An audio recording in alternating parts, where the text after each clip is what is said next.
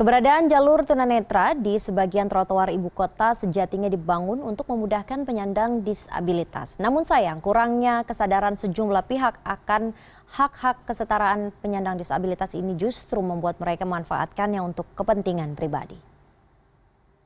Ya, berbagai usaha telah dilakukan oleh pemerintah Provinsi DKI Jakarta untuk membuat jalur pedestrian atau trotoar semakin ramah bagi para penyandang disabilitas. Seperti membuat guiding block atau jalur khusus untuk tunanetra yang diperuntukkan memang bagi tunanetra agar mereka bisa mencapai tujuan uh, tanpa harus tersasar. Dan saat ini saya sudah bersama seorang penyandang disabilitas netra, uh, Pak Suhardi. Halo, selamat sore Pak Suhardi. Selamat sore Pak. Ya, Pak Suhardi, kita mungkin sambil jalan aja ya, sekalian coba guiding block ini. Nah Pak Suhardi sebagai, maaf, mohon maaf sebagai seorang tunanetra, bagaimana Anda merasa berjalan kaki di jalan ibu kota ini sendiri? Uh, kalau sekarang mah lebih enak ya karena ada guiding block ini mm-hmm. untuk tandanya. Mm-hmm. Nah guiding block ini sama trotoar ada bedanya. Kalau trotoar ini agak keras ditekan gini, mm-hmm. kalau guiding block kan bunyi. Oh bunyi kalau guiding block ya? Beda, oh. ya nyaring gini kan. Nah tuh, jadi lebih mudah. Kita tidak uh, keluar dari jalur. Ah, iya betul ya karena biar aman terus ya, di trotoar. Aman ya.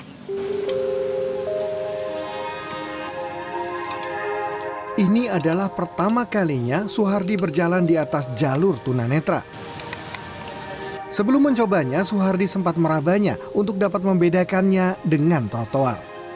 Terdapat dua jenis guiding block, yang bergaris untuk memberitahu arah jalan dan yang berbintik-bintik sebagai petunjuk untuk berhenti sejenak. Tanpa guiding block, Suhardi mengandalkan tongkatnya untuk mendeteksi rintangan di depannya. Namun berjalan di atas jalur tunanetra bukan berarti tidak akan menemui rintangan. Ya, ini seharusnya emang nggak seharusnya ada sepeda sih di sini sih. Dia mengganggu jalan. Jadi guiding block ini sayang ya Pak ya. Jadi iya. masih adalah apa kurang kesadaran masyarakat tentang adanya pentingnya ini bagi para penyandang disabilitas.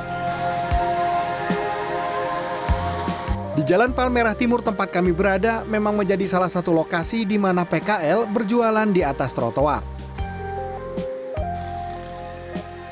Lokasi yang dekat stasiun Palmerah ini memang memiliki lalu lintas pejalan kaki yang tinggi sehingga dianggap sebagai tempat yang strategis untuk berdagang. Nah Pak Suhari ini memang kebetulan sekarang ini jalan agak penuh ya Pak ya, baik PKL ya. Anda mungkin bisa mencium bau aroma ya. makanannya. uh, tapi ma masih bisa nih Pak ya berarti ya? Masih bisa, cuman ada halangan-halangan dikit aja. Nah gimana menurut Bapak dengan halangan-halangan seperti ini? Uh, seharusnya masyarakat juga harus mengerti guiding block ini untuk apa gitu. Oh ini fasilitas untuk penyandang disabilitas nggak pakai menghalangi guiding block ini gitu ya seperti mungkin yang bisa kita lihat ada di depan sini nih ya misalnya nih maaf pak ini sebentar pak ya kita mau tanya pak ya. namanya siapa pak Anang Anang bang ini kan namanya guiding block nih bang ya iya. buat tunanetra kenapa jualannya agak nutupin jalanannya nih ah, buat iya. tunanetra nggak bisa minggir dikit iya. gitu maksudnya oh, bisa bisa bisa iya orang itu nanti mundur Oke. Iya. Tapi tahu ini buat tunanetra atau gimana? Iya, tahu ya. Siap, oke. Okay. Oke, okay, baik, makasih ya. Minta tolong Pak ya buat nanti yang lain. Okay. Tak hanya pedagang, seorang pembeli dengan cuek duduk di jalur tunanetra dan baru pindah ketika menyadari kami mau lewat. Kami juga menemukan pengemudi ojek daring yang memarkirkan kendaraannya di depan trotoar sehingga menyulitkan kami berjalan. Ya, dan lagi-lagi ada yang menghalangi Pak, maaf. Uh, uh, jadi memang apa ya, meskipun sudah diperuntukkan bagi kaum penyandang disabilitas, tapi ternyata masih banyak juga ya Pak ya, warga yang kurang sadar Pak ya. Bapak sendiri gimana menyikapi hal itu? Sebetulnya memang kesadaran dari pedagang, dari masyarakat, dari pemerintah. Pemerintah membuat ini kan sebetulnya untuk digunakan oleh penyandang disabilitas kan. Tapi pemerintah kan pasti tahu uh, jalan ini di, uh, ditutup oleh pedag, uh, PKL, iya. harusnya pemerintah uh, cepat tanggap. Baik, terima kasih Pak Suhardi untuk waktunya.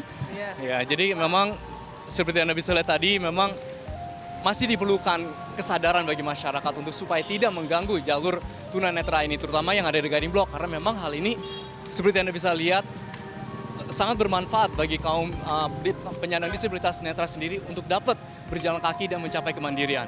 Arya Dita Utama, Jakarta.